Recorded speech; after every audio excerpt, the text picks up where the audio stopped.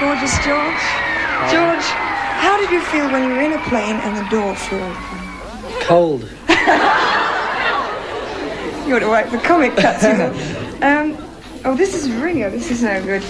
George, how many over there. guitars do you actually use? How many? Well, one at a, one at a time. You only use one. But I've got about- How many have you got? Um, four. Four. Yeah.